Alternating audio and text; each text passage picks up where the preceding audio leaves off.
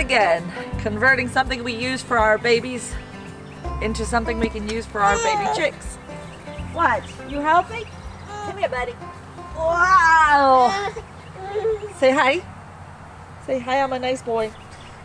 Okay, so you guys have seen our crib brooder. You have seen how we use that to start out our chicks with a heat lamp.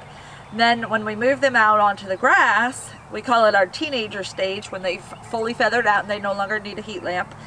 We have used these play yards that are made for toddlers in the past um, and we are using it again. So we are just building a new one now and what we do is we set up the play yard and we measure out the chicken wire on the inside. Uh, if you have predator issues in your area, it is much better to use hardware cloth and secure that the best way you can. We're going the cheap route and using just the chicken wire for now because our livestock guardian dogs help keep predators away from our area.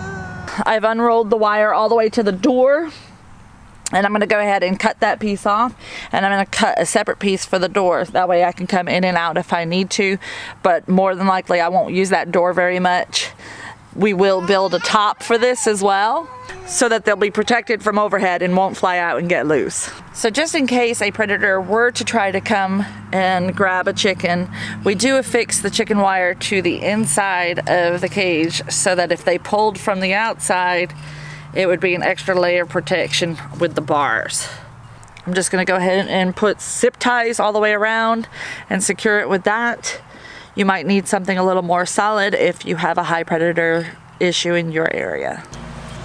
So once you've secured all the way around, we're gonna add more zip ties later. We were taking too long.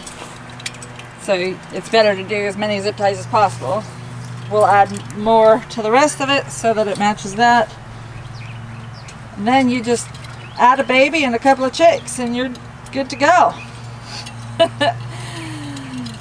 we had to distract Odin from grabbing sharp chicken wire so we gave him a couple of chicks to play with and they are being so sweet.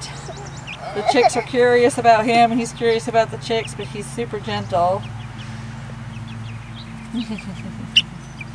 Be nice. Good boy. And then we will build a top to go across the top of it and we'll be done.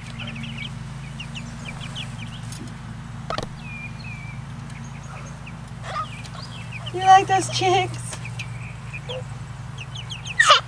So Ryan's cutting a piece for the door now. And that'll be so that we can come in and access if we need to bring the birds in for the night if it's going to be inclement weather.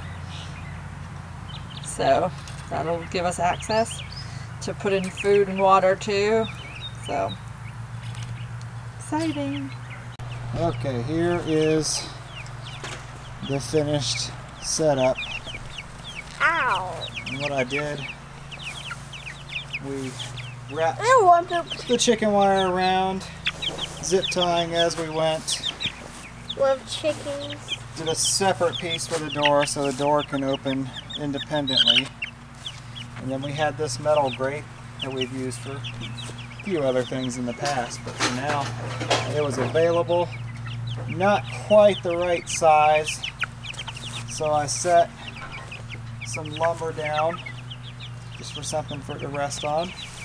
Zip tied the grate to the hanging over chicken wire, and now it's pretty sturdy. This is only a temporary Why? a temporary setup for Why? teenager Why chickens or also Why do you just six-year-old boys. you keep on hopping? Liam, are you happy in there? Yeah. Yeah. Ah! Stop hopping up! I want to pick you up. I'm picking you up, but you keep on hopping up.